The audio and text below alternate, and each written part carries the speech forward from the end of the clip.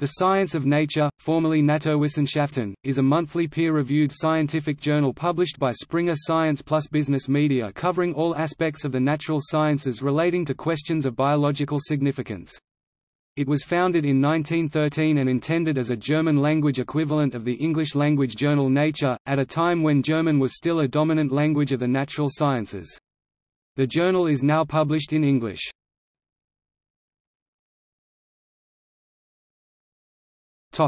History Die Naturwissenschaften was founded in 1913 by Arnold Berliner and published by Julius Springer Verlag. Berliner intended to create a German equivalent to the English-language journal Nature.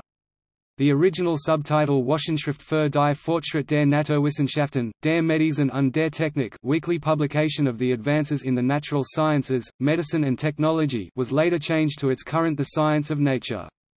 The journal is published monthly and the articles are exclusively in English, after a gradual transition from German to English during the 1990s. In January 2015, the journal changed its name to The Science of Nature.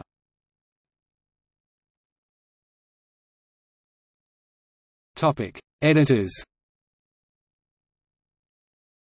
The following persons have been editor-in-chief of the journal